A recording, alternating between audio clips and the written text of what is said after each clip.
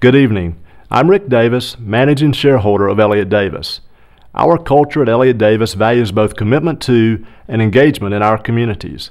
We're focused on developing our team members so they will be able to continue our legacy of making a difference in the cities where we work and live. It's important to recognize those outstanding business leaders who continually make an impact and who serve as role models for our next generation. We are pleased to sponsor this inaugural event and in so doing provide our support to this celebration. When we talk about role models in the Greenville business community, we must mention Ambassador David Wilkins.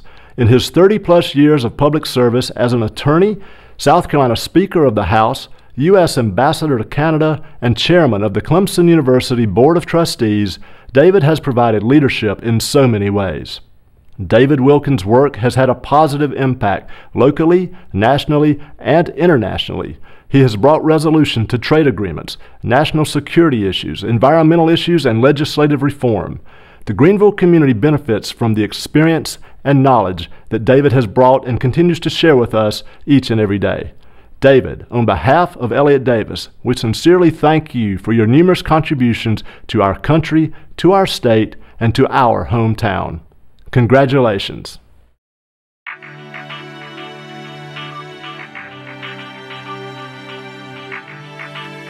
I'm a goal-oriented person. I'm sort of a problem-solving guy. I like to I like to have a reason to get up, things to do. I make lists. You know, on Monday you need to accomplish these eight things or whatever they are, and I just uh, I, I like I like having a challenge. I like getting things done.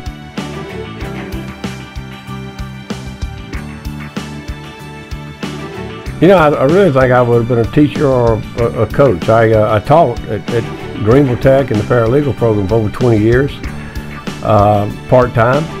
Uh, but I love that, and I, I continued even when I was uh, my schedule was getting busier, and uh, I started as a young lawyer right out of the Army. But I continued it for over 20 years because I just enjoyed the uh, relationship with the students.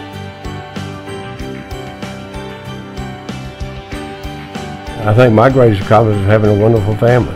Uh, you know, I'm, I'm, proudest of that. My wife and I have been married over 42 years. The greatest job or uh, position I've ever had, I would say I was I was honored to be U.S. Ambassador. Uh, it's the greatest job I'll ever have. Uh, I got to wake up every morning for four years and say, hey, big boy, you represent the United States of America They Do not screw this up. Go get them. And so I was really on a adrenaline high for four years.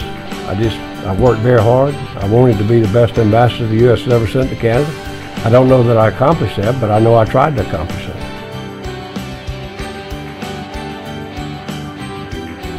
Competitor.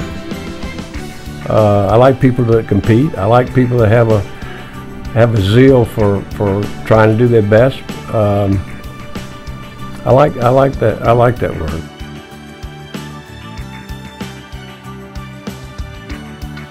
I used to have hair once, uh, maybe that. I don't know. Um, I, you know, I don't know. I think people that know me know that I'm a I'm a fierce competitor. I, am uh, like I've always said, sort of a goal-oriented guy. I'm, I like I like being active. I like getting things done. Um, you know, I love playing my grandchildren on, on the weekends, and uh, uh, but I mean, there's not a lot of secrets there. I mean, if you if you, if you know me long, you pretty well know who I am.